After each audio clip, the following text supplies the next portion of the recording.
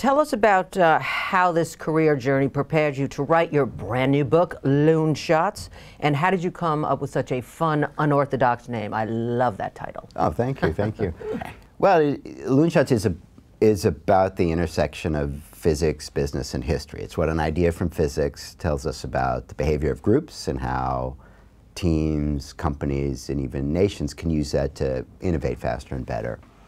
And I think it's kind of only because I lived in both worlds. I was a CEO and I was a physicist that I could write about what one area tells you about the second. I think if you've only been in business, it's pretty hard to apply principles of physics in a meaningful way.